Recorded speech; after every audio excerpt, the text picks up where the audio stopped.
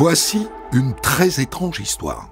Une femme, Eliane Vazar, que l'on retrouve morte en 2011 à Saucé en Eure-et-Loire, dans sa voiture, brûlée et enchaînée au fauteuil avant.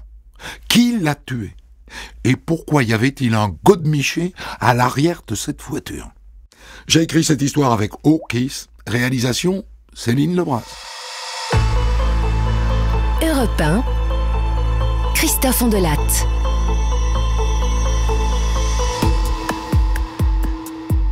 N'est vraiment pas banal le début de cette histoire. Le 26 septembre 2011, à 7 heures du matin, la femme de ménage de l'école primaire de Saucé, en Eure-et-Loire, arrive pour prendre son service. Et sur le parking, elle voit une Peugeot grise, la seule qui soit garée là. Et ce qui est bizarre, c'est que de loin, les vitres sont opaques, comme si, comme si on avait brûlé quelque chose dedans, opaques à cause de la suie. Elle s'approche ça sent l'essence et le brûlé. Elle colle l'œil à la vitre. Oh une femme nue, enchaînée au fauteuil, et à côté un homme enroulé dans une couette. Et soudain un gémissement. Appelez la police Tu penses qu'elle va l'appeler Les gendarmes arrivent un quart d'heure plus tard. Et eux aussi, quand ils s'approchent, ils entendent. Au secours Ni une ni deux, ils forcent l'une des portières. Une forte odeur d'essence leur saute. Et ce qu'ils voient est stupéfiant. À l'arrière, la banquette a été retirée et il y a deux corps allongés. Un homme, vivant manifestement puisqu'il vient de bouger, à moitié nu, enroulé dans une couverture, avec la barbe brûlée, le visage gonflé, il est dans un sale état. Et à côté de lui, une femme. Madame Madame, vous m'entendez? Elle ne répond pas. Elle a l'air d'être morte, brûlée. Ses cheveux sont presque tous consumés. Son t-shirt est lacéré, son pantalon baissé jusqu'aux chevilles. Et surtout, elle est attachée, enchaînée au siège avant de la voiture. Putain de scène de crime. Les gendarmes balayent du regard le reste de la voiture. Il y a un bidon d'essence de 5 litres, fendu, une bouteille d'alcool, un cutter, et ça là Ça là, qu'est-ce que c'est? Fais pas le naïf, Cruchot C'est un braquemar. Un braquemar en plastique. Un god miché, quoi, un god. Et à côté, ce sont des sextoys et, de la lingerie, genre petite culotte affriolante. Il s'adresse immédiatement au bonhomme, le rescapé. Qu'est-ce qui s'est passé, monsieur? On jouait avec ma femme? Un jeu sexuel, quoi. Je voulais lui faire plaisir. On a fait une expérience. Ça a mal tourné. Je... C'est horrible.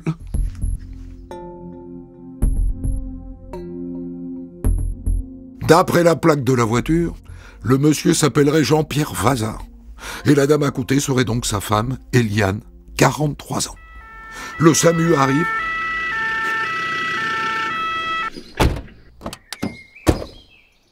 Ok, on l'évacue. Jean-Pierre Vazard est, selon le médecin du SAMU, brûlé à 60%. Il est immédiatement transporté à l'hôpital militaire Percy, à Clamart, près de Paris, qui est spécialisé dans les grands brûlés. Et le corps d'Eliane Vazard, lui, est détaché et emporté vers la morgue.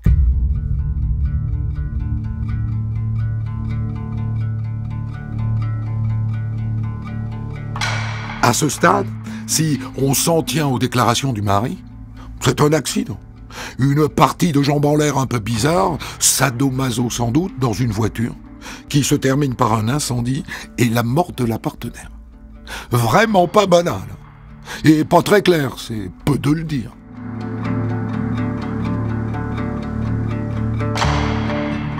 À ce stade, bien sûr, les gendarmes voudraient bien poser deux ou trois questions au mari.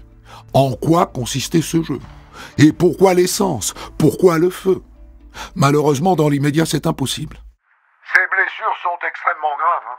Il a été plongé dans un coma artificiel. Donc, euh, je suis désolé, impossible de l'interroger maintenant. Hein.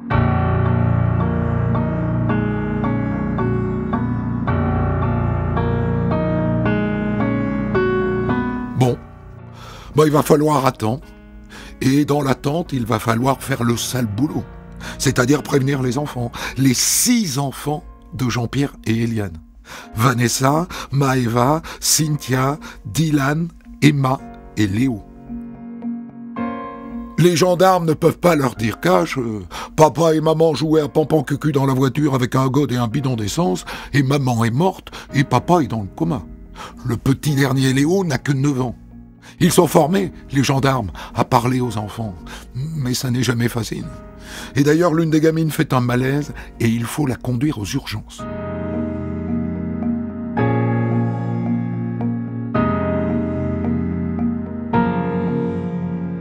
Pour l'instant, les gendarmes tentent de comprendre ce qui s'est passé, parce que ça n'est pas clair clair. Le jeu sexuel, euh, ok, ça tient debout, hein. le, le godemiché, les sextoys, euh, elle enchaînée au fauteuil, pourquoi pas. Mais ce qui tient pas debout, c'est le feu. À, moins que le feu ait fait partie du, jeu sexuel, mais moi, franchement, j'ai jamais entendu parler d'un truc pareil. T'en- as entendu parler, toi, de ça? Oh ben non. Moi, je suis comme toi, j'ai jamais vu un truc pareil. Moi, ce qui m'intrigue, c'est le bidon d'essence qu'on a retrouvé dans le coffre. En soi, un bidon dans le coffre, c'est pas original. Mais là, regarde sur la photo. Il est fendu, ce bidon, tu vois Une fente de quoi? 15 cm Donc on verra ce que dit le labo, mais moi je parierais bien que cette fente, elle n'est pas accidentelle. Regarde. On a vraiment l'impression que ça a été fait volontairement, genre avec un, un cutter, tu vois D'ailleurs, on a retrouvé un cutter dans le coffre.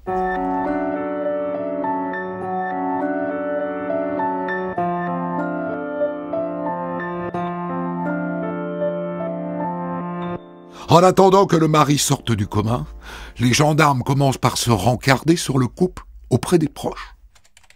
Qu'est-ce que je peux vous dire? Ils- se connaissaient depuis la fin des années 80. À l'époque, ils avaient 21 ans et 19 ans, je crois. Ils habitaient dans la même résidence en banlieue parisienne. Ils sont tombés amoureux. Ils sont mis en ménage. Et puis ils ont eu une, une première petite fille, Vanessa. Et puis après, Maïva. Et puis ils se sont mariés en 1996, je crois. Et ils ont quatre autres enfants. Ils en ont six au total. De quoi est-ce qu'ils vivaient?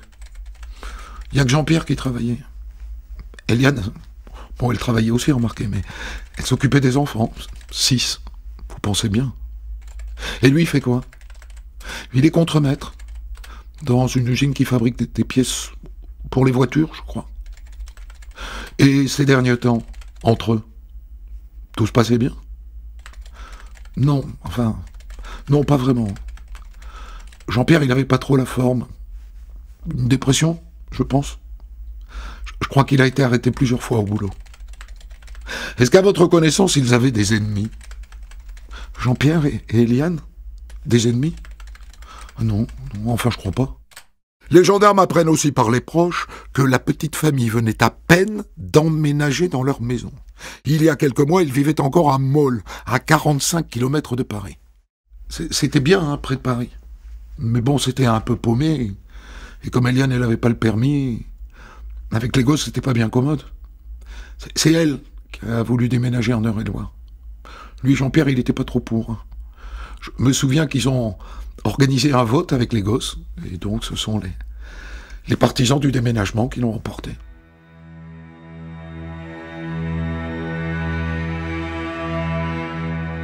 Oh, c'est moignon tout ça. Mais au fond, c'est l'histoire d'une famille très ordinaire.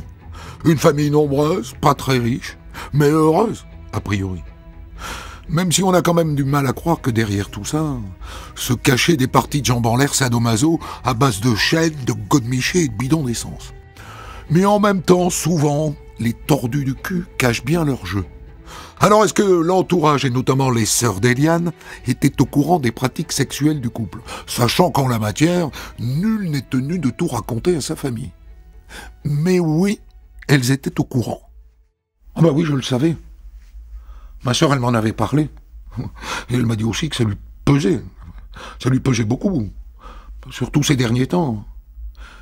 Elle m'a dit que Jean-Pierre, il pensait plus que ça. On, dirait il en voulait toujours plus. Et elle, elle devait se fader euh, tout latéral, quoi. Les, chaînes, les sextoys. elle, elle le faisait. Mais à reculons, si j'ose dire. Mais oui, j'avais des rapports sadomasochistes. Lui, il était vraiment sadique. Hein. Mais elle, elle n'était pas du tout maso. Elle n'avait pas le choix, c'est tout.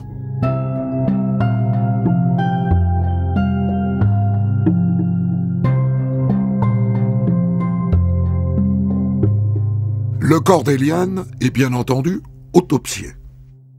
Elle n'est pas du tout morte à cause de ses brûlures. Elle est morte asphyxiée. J'ai trouvé une quantité importante de monoxyde de carbone. Asphyxiée, vous dites? Juste une question, docteur. Si elle est morte asphyxiée par la fumée, son mari qui était dans la même voiture, il aurait dû être intoxiqué lui aussi, non? Évidemment. D'accord. Eh oui, c'est étrange, hein. Si elle était morte à cause des brûlures, on aurait pu dire il a eu de la chance et pas elle. Il était au bon endroit et pas elle. Mais si c'est la fumée, en théorie, il a eu droit à la même dose qu'elle.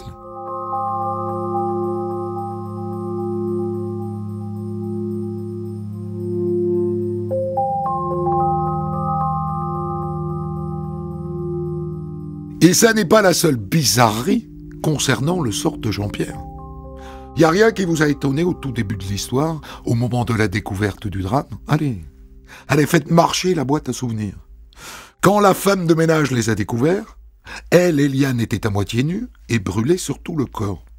Et lui, Jean-Pierre, était certes brûlé, sérieusement brûlé, c'est incontestable, mais enroulé dans une couette en acrylique, intacte, intacte et blanche comme neige, pas de cendre ni de suie dessus. Pourquoi est-ce qu'elle n'a pas brûlé elle aussi, cette couette?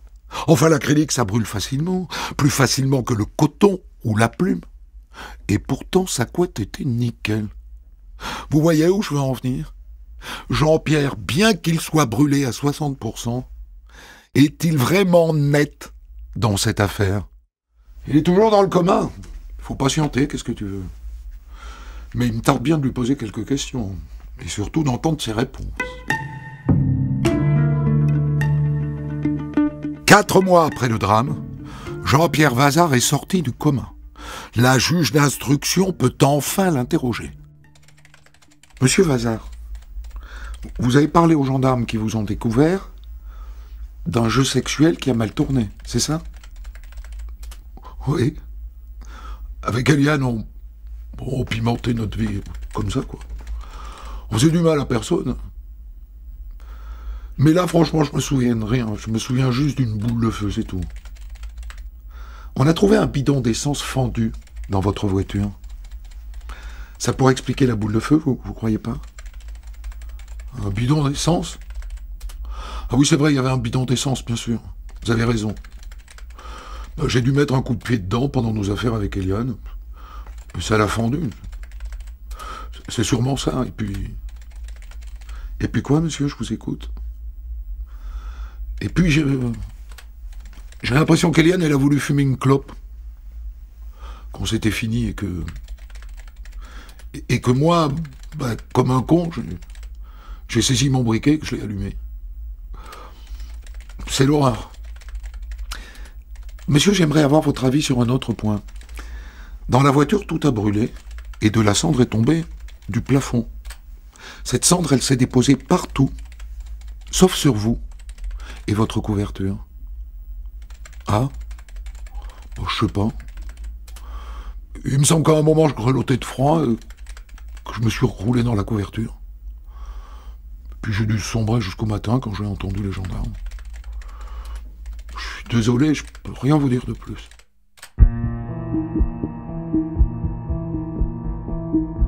Ouais. Ça n'est pas hyper convaincant mais pas non plus à 100% accusateur. Faut voir. Avec tout de même un détail qui ne joue pas en sa faveur, il dit qu'Eliane a voulu s'allumer une cigarette après l'amour, qu'il lui a tendu un briquet allumé, et que c'est sans doute ça qui a provoqué l'incendie. Moi, j'y crois pas du tout à ça, tu vois. Parce qu'on a bien retrouvé un paquet de cigarettes dans la voiture, ça c'est vrai. Mais il n'était pas entamé. Donc il nous ment. Je te dis qu'il nous ment. La question lui est reposée au cours de l'interrogatoire suivant. Hein? Vous dites que le paquet de clopes, il était plein? Bon, d'accord. Alors j'ai dû allumer mon briquet comme ça, pour, Pour voir s'il fonctionnait toujours, je fais souvent ça. C'est presque un réflexe, moi. Moi, moi, moi. Il est de moins en moins convaincant. Vous ne trouvez pas? On ne peut être sûr de rien, mais j'entends une petite musique qui me dit Il n'est pas net ce zigoto, il n'est pas net du tout.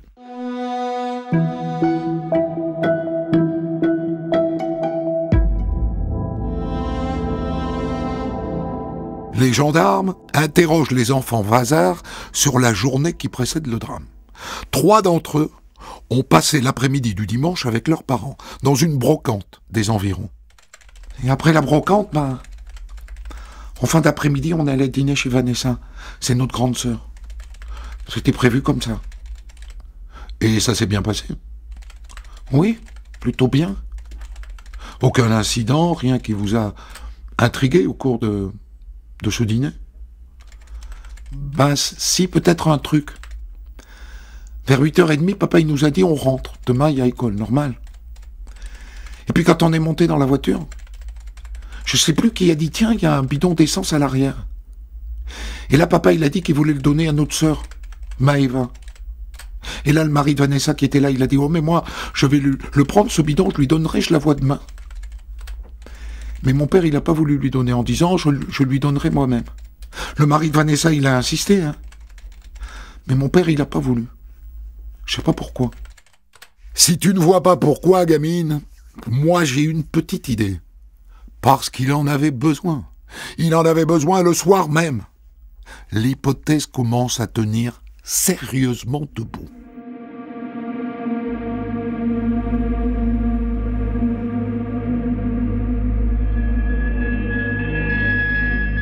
Les gendarmes interrogent sans relâche l'entourage du couple, la famille, les amis, les collègues. Et à un moment, il y en a un qui lâche le morceau, quelque chose que jusque-là, personne n'avait évoqué.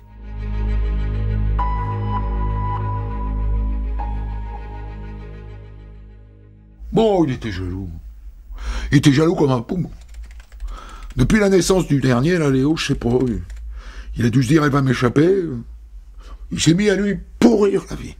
Il l'accusait de regarder les hommes, il soupçonnait les hommes de la regarder, il l'a dévalorisé tout le temps, il l'humiliait en public, il l'a fliqué, il fouillait son téléphone portable.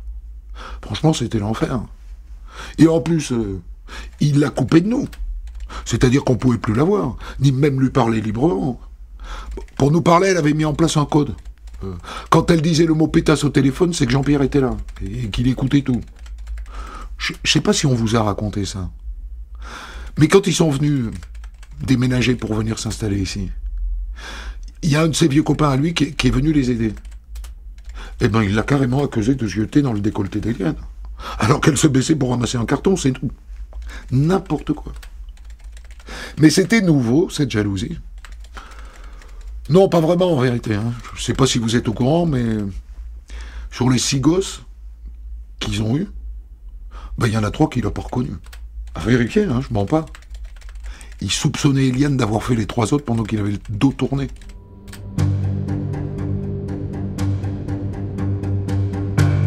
Et les amis disent aussi que le récent déménagement était une volonté d'Eliane.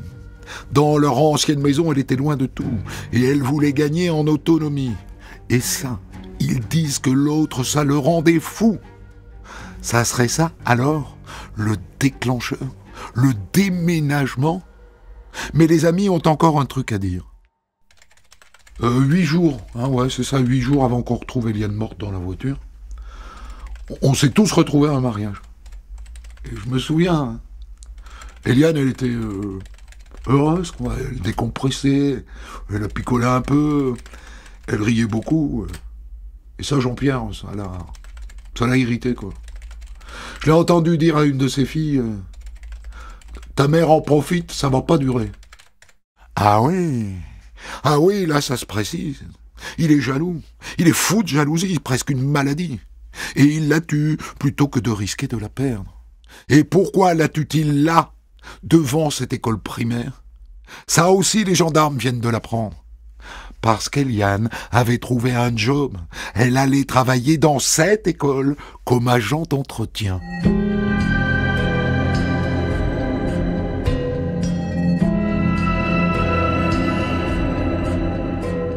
Si on part de l'hypothèse que c'est Jean-Pierre qui a tué Eliane.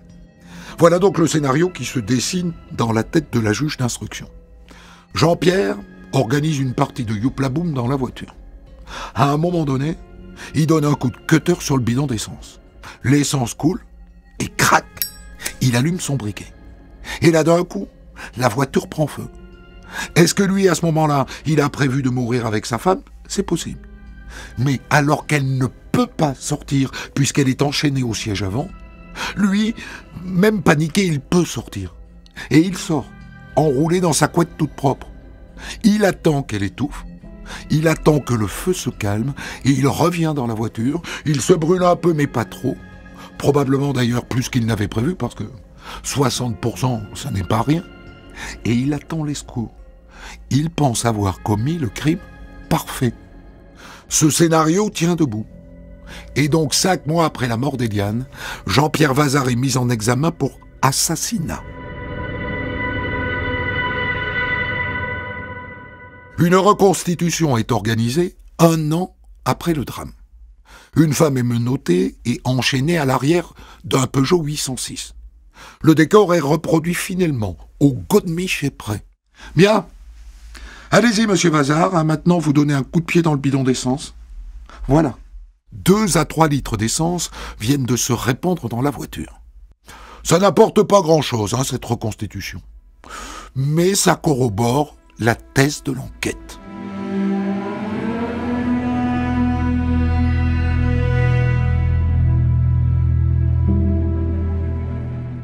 En attendant son procès, Jean-Pierre Vazard reste libre sous contrôle judiciaire. Normal, il est grièvement blessé, sa convalescence est forcément longue. Mais il lui est interdit d'approcher de chez ses enfants à moins de 20 km. Et comme il reste leur père, il doit aussi subvenir à leurs besoins. Au début, il le fait. Et puis, à un moment donné, il trouve que leurs factures d'électricité et de gaz notamment sont trop élevées. Alors il cesse de payer. Et les enfants Vazar, placés sous la responsabilité de leur sœur aînée, passent l'hiver 2014 sans eau ni électricité. Et les années s'écoulent. Et le procès est sans cesse retardé. Ah oui, Jean-Pierre Vazar est libre. Il n'y a pas le feu. Ça peut attendre.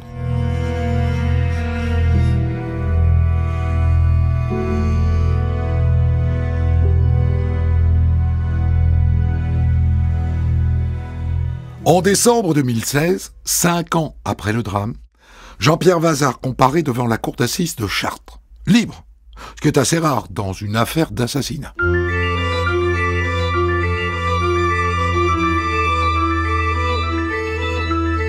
Dans ce dossier, vous l'avez remarqué, il n'y a pas de preuve. Il n'y a pas de preuve absolue. Il y a juste un faisceau de présomption, assez étayé. Et donc deux hypothèses. Soit la cour d'assises arrive à prouver qu'il a tué sa femme volontairement, et là il prend perpète. Soit il arrive à convaincre les jurés que c'était un accident, et donc il est acquitté. Lui, en tout cas, n'a pas bougé. C'était un accident. Je n'ai pas voulu mettre le feu avec le briquet quand je l'ai allumé. J'ai juste pas mesuré les conséquences, c'est tout. Le président lui pose des questions, beaucoup de questions. Je suis désolé, je, je me souviens pas. Je me souviens pas de ce qui s'est passé ce jour-là. Vous savez, j'ai quand même passé plusieurs semaines dans le coma. Ça a été un choc pour moi. Je me souviens plus de rien.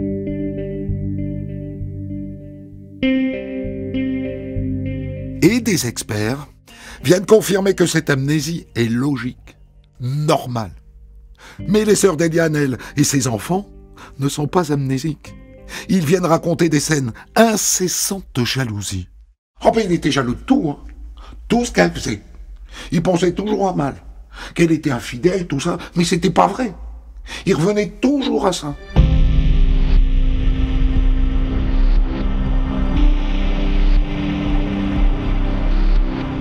Le 13 décembre 2016, Jean-Pierre Vazard est condamné à 25 ans de réclusion criminelle pour assassinat avec une période de sûreté des deux tiers. Il fait appel, il gagne 5 ans et il est finalement condamné à 20 ans de prison. Maître Antoine Fabre, vous étiez dans ce dossier avocat de la partie civile, vous défendiez les intérêts de 11 personnes de la famille de la victime, Eliane Vazar. Peut-être euh, un premier commentaire sur le verdict. 20 ans quand même pour assassinat, ça n'est pas très cher payé, comme si on avait voulu dire au fond, il est coupable, mais quand même, il y a un petit doute, alors on coupe la poire en deux. Disons que en première instance, le procureur avait demandé 20 ans et la Cour avait aggravé à 25 ans. Dans ce cadre-là, si vous voulez, très souvent, l'accusé a envie de faire appel parce qu'il a du mal à comprendre pourquoi, malgré la brillante plaidoirie de son avocat, la Cour a tout de même encore euh, aggravé son cas. Et si vous voulez donc, euh, en deuxième instance, on appelle, il a été ramené à ce qui avait été demandé par l'avocat général en première instance. Donc il n'y a rien de choquant, rien à lire dans ce verdict qui dirait un doute? Non, c'est pas le doute qu'il faut y voir, c'est plus la pathologie mentale qui, à mon avis, ici a été prise en compte. C'est-à-dire quelqu'un dont on savait qu'il était au bord de la perte de la raison. Et c'est, je crois, ce qui explique la Cour n'ait pas été plus sévère. Hmm. La dépression Alors, une dépression et puis surtout une, une jalousie morbide, si vous voulez, dont il a été ici euh, fait la preuve. Hein. Je ne sais pas si vous avez vu le film L'Enfer de Claude Chabrol, mais on est très exactement dans ce scénario-là, c'est-à-dire un homme qui perd la raison parce qu'il croit que tout le monde en permanence veut avoir des rapports avec sa femme. Mhm. De votre côté, lorsque commence le procès, est-ce que l'hypothèse d'un acquittement existe? Parce que je l'ai dit, il n'y a pas de preuve absolue, il n'y a pas d'ADN, il n'y a rien qui est 100% convaincant. Il y a un faisceau de présomption qui est solide, mais rien de plus. Alors comprenez-moi bien, quand la famille vient me voir, non seulement il est libre, mais il n'y a pas de date de procès. Ouais. Donc je suis estomaqué par la situation. J'écris au procureur pour lui indiquer qu'il m'apparaît nécessaire que ce monsieur soit placé en détention et que à tout le moins on ait une date au plus vite. Euh, le procureur me répond qu'il n'entend pas le placer en détention, ce que je trouve choquant au vu de la situation, mais il donne une date assez rapide de procès dans le mois qui suit. Mais nous savons donc qu'il comparait libre à la cour d'assises et nous savons qu'il allait demander l'acquittement. Donc, bien sûr, les parties civiles sont extrêmement attentives à ce dossier et extrêmement inquiètes. Pourquoi c'est choquant qu'il soit libre, maître? C'est quand même quelqu'un qui a, qui a été brûlé à 60%, qui a dû suivre une convalescence très longue. Ça a une logique. Alors, dans un premier temps, oui, parce qu'il a été obligé euh, de le placer, si vous voulez, sous contrôle judiciaire, car il était à l'hôpital. Mais maintenant, ça fait plus d'un an qu'il est sorti de l'hôpital. Oui. Ce, ce, monsieur a donc coupé les vivres à ses enfants, comme vous l'avez très bien noté. Et en plus, il vit avec une nouvelle compagne, si vous voulez. Oui. Donc, s'il est en capacité euh, d'avoir une nouvelle vie amoureuse, euh, il n'est plus tout à fait en convalescence, si je puis me permettre. Qu'est-ce qui vous convainc, vous, lorsque vous prenez ce dossier, que c'est lui, c'est sûr Moi, je suis convaincu par plusieurs aspects, dont certains que vous avez rappelés. Le premier, c'est que oui, il y avait des godemichés, c'est exact. Dans une vie, par contre, entre deux adultes, ça ne sous-entend pas nécessairement qu'il y ait des rapports SM, si je puis me permettre. Oui. Et c'était la première fois qu'il y avait une, une, sortie nocturne. Et si vous voulez, quand les couples font des sorties nocturnes pour faire ce genre de choses, ils les font pas les dimanches soirs, si je puis me permettre, avec des enfants à accompagner à l'école le lundi matin à 8 heures. Dont le plus petit à 9 ans.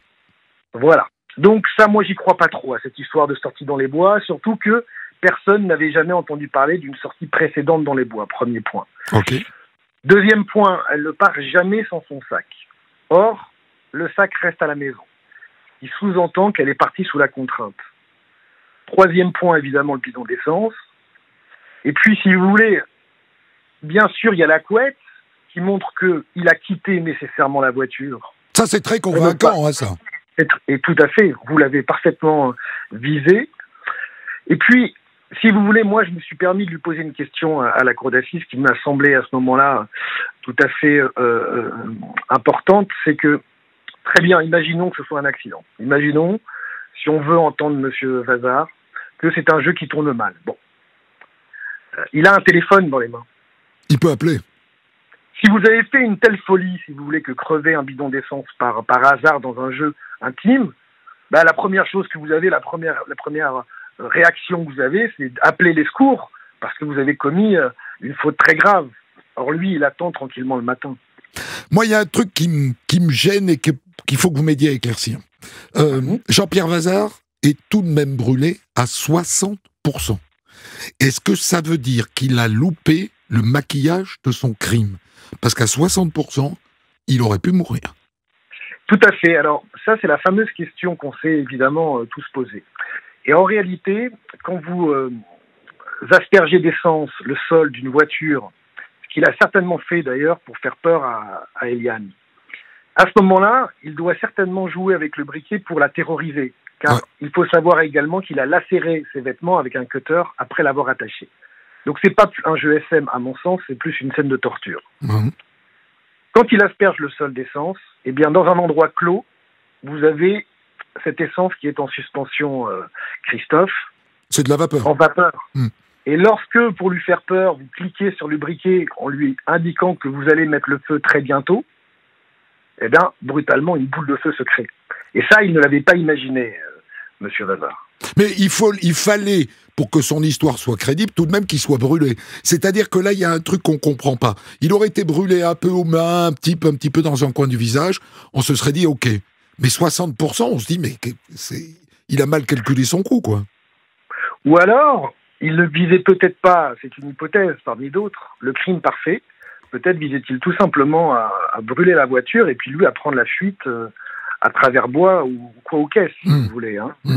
Il n'est pas absolument certain, c'est une hypothèse que vous avez relevée, qu'il ait voulu éventuellement être brûlé pour faire croire à l'accident. Mais je souligne le fait que si accident il y a, pourquoi dans ce cas-là de ne pas utiliser le téléphone? Alors, l'histoire nous propose un mobile. On en a dit deux mots tout à l'heure. La jalousie maladive de Jean-Pierre Vazard. Mais ma question est la suivante. Est-ce qu'on peut vraiment dire que c'est de la jalousie? Parce qu'a priori, ça ne s'appuie sur rien. C'est-à-dire qu'elle elle ne le trompe pas, Eliane. Alors, et oui, alors c'est ce qui explique d'ailleurs également le verdict dont nous avons parlé. C'est que Monsieur Vazar, euh, quand il était enfant, a surpris euh, plusieurs fois sa mère, qui d'ailleurs en faisait un peu son complice euh, lorsqu'elle était infidèle de son père. Oui. Et donc, il a depuis toujours un rapport aux femmes extrêmement compliqué parce qu'il a été témoin de ça bien trop petit. Et il est donc persuadé que toutes les femmes reproduisent le schéma qui est celui de sa mère. Mais est-ce qu'Eliane trompe Jean-Pierre? Absolument pas. Mais si vous voulez, il y a un barbecue en famille un jour et une voiture ralentit sur juste à côté de la maison parce qu'il y a un dos d'âne. Bon, il en est à croire que c'est l'amant, si vous voulez, qui vient faire un tour, euh, l'amant imaginaire évidemment, qui vient faire un tour pour euh, regarder Eliane par la fenêtre de sa voiture. On en est à ce niveau de folie. Ju- Justement, sa, folie avait l'air de durer depuis longtemps, parce que donc on apprend au cours de l'enquête que sur les six enfants, il y en a trois qui l'auraient pas reconnu, soupçonnant qu'elle les avait eus avec quelqu'un d'autre que lui. Vous confirmez? Oui, enfin, c'est une des particularités encore de son comportement. Je vous remercie infiniment, maître Antoine Fabre, d'avoir accepté de revenir sur cette euh, histoire qui date de 2011 en Heure et Loire. Des centaines d'histoires disponibles sur vos plateformes d'écoute et sur europe1.fr.